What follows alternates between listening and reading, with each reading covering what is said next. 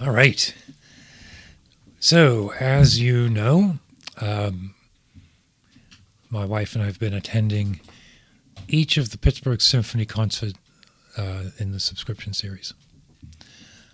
And uh, today is Sunday, December 3rd. Um, and I heard Brahms Requiem. I was there on my own. Um, my wife, sadly, is at a fu- funeral out of town, so um, so I went on my own, and we'll just start off by addressing the elephant in the room. Which, again, if you've heard my other videos, uh, you know that I am particular about the length of concerts. I don't think they should be very long. And I think that they are usually padded, and I don't understand why. Uh, the Brahms Requiem is an hour and something, 20, hour and 10. And it's a magnificent, huge piece. And it, it should have been the only piece on the program. It didn't need to be the second half of a concert with a bunch of stuff in a first half. It should have just been Brahms Requiem. Show up, listen to it, have your mind beautifully blown away, and then and then go home. By adding in a first half, it makes that um, joy, that spiritual experience, it turns it into drudgery. Now, having said that, today happened to have the Mozart D minor piano concerto number 20 in the first half of the program. And that's a piece that, as a youth Bates College, as a sophomore, I performed that piece.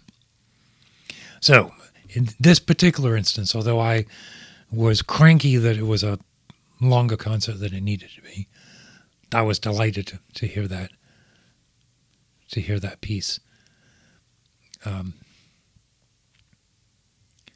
I would pay extra. I've said this before. Going to say it every time. I would pay extra to go to a concert that was just the main attraction.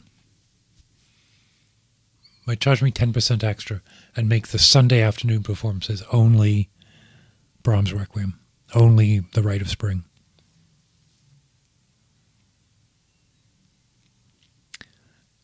Now, again, in this case, I was okay hearing the piece, one of my favorite pieces of all time, that D minor concerto. But you could argue, I suppose, that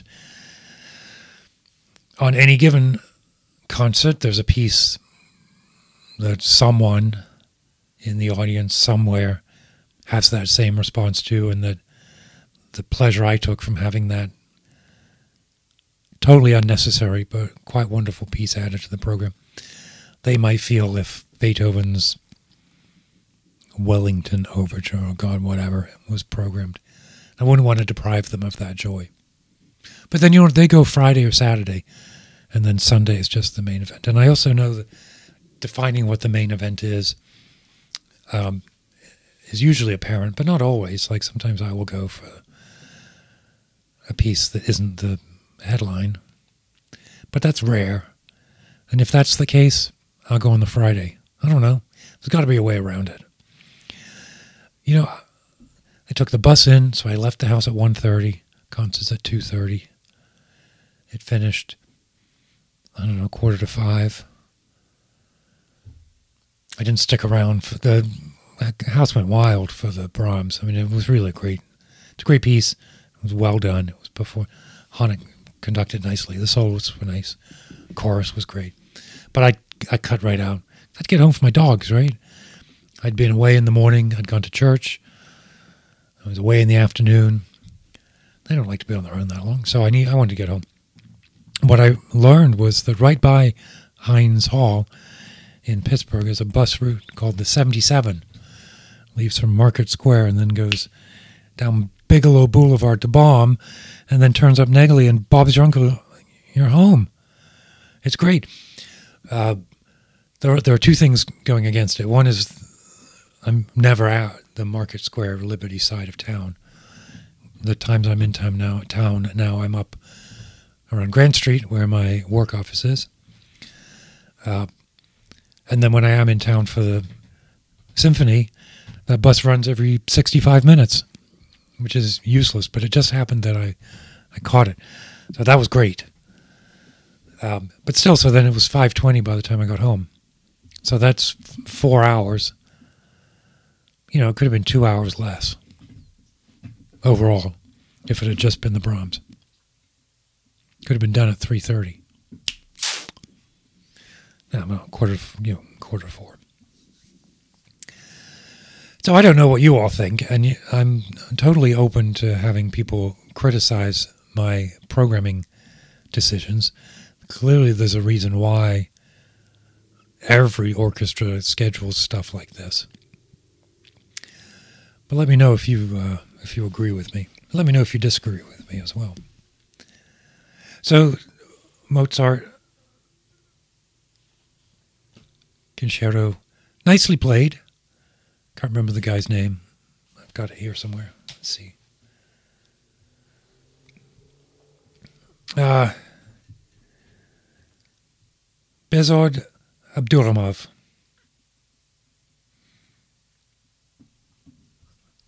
He played very cleanly, with a bit of aggression, nicely placed. You know, like it doesn't have to be um, delicate all the time. That piano in Heinz Hall is uh, still brand new Steinway. It's beautiful. Uh, so it's some nice colors coming out of the coming out of the piano. It wasn't. You didn't blow me away,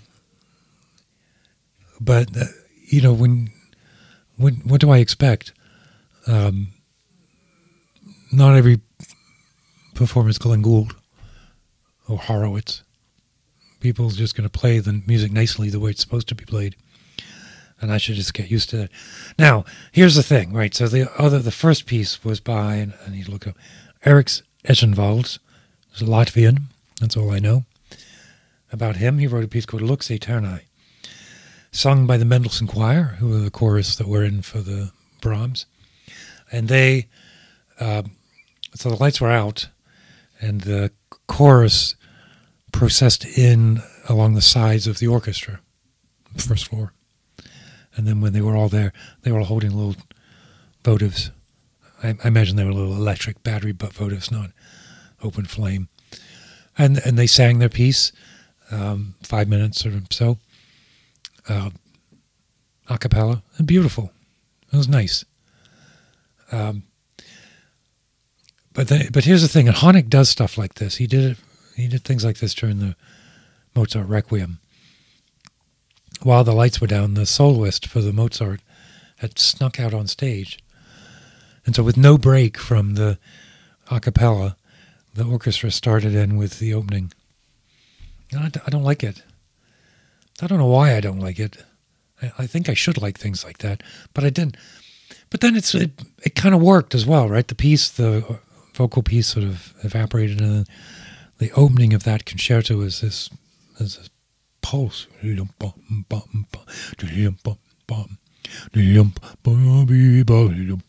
Kind of comes out of nowhere. So I could see the thinking.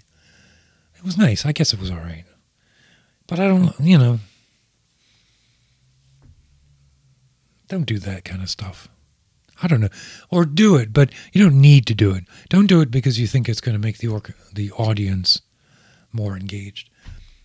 The hall's only half full. I mean, no one's going. Uh, so just play the Brahms. That Brahms now. Um, I prefer the chamber music Brahms to the symphony stuff, and uh, even within that, I prefer the solo instrument sonatas, particularly the violin sonatas. I played one of them, also at Bates, in junior year, senior year. I played the piano. I didn't play the didn't play the violin on it, and that's uh, gorgeous. But you know what? So is the Requiem. I I've changed my opinion in the last five years. So the I've just never gotten into the Brahms symphonies, and you know, most of my closest friends adore them, and they always felt a bit stodgy to me, which I know is my flaw, failing, and weakness, or bad judgment. And I kind of wrapped the Requiem up in with, with that, but God, it was beautiful. I was trying to think. It's it's a it has this sort of warm golden feel to it. Different, like Poulenc. The Poulenc Gloria has a rose gold feel to it. This was like a dark. The Brahms Requiem was like a dark, like a lustrous gold. Know how to describe it. Not brown, not brown gold, gold, like a gold bar. Kind of in the maybe a gold bar in uh, in moonlight, but cloudy moonlight. See, there's a bit of luster.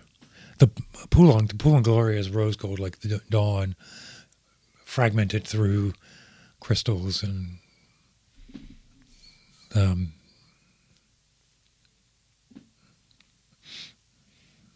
that's not what the Brahms is. But it was gorgeous. Um, in in the way that I've always been attached to the violin sonatas, I felt that way today listening to the to the Brahms Requiem. Um, I'd like to write a piece like that, a piece with liturgical intent, but with um, text that I select. I thought for a long time I would use se- sections from Emerson's essays. But what happens when I start to read Emerson's essays is like I get a little bored. Not good, is it? I get a bit bored and I put them aside and I read Leaves of Grass instead. And could totally write a mass for the cosmic living and dead with you could write a hundred of them with text from Leaves of Grass. Um, I think what I would do before I did that, well, before I did that, I would finish my opera,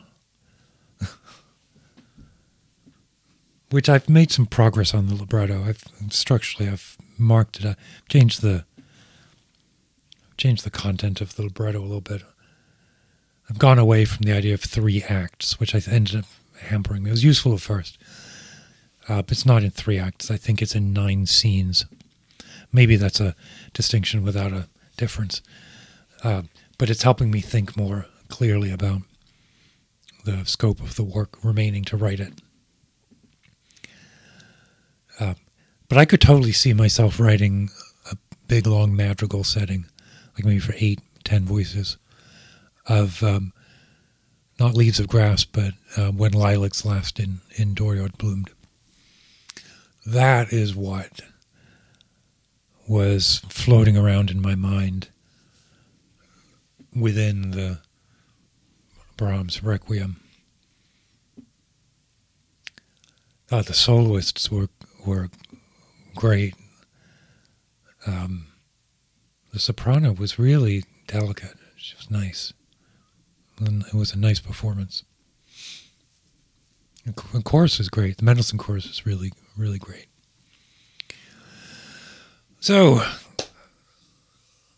that's probably enough. If you were at the concert and thought that it was perfectly timed, or you know, duration, let me know.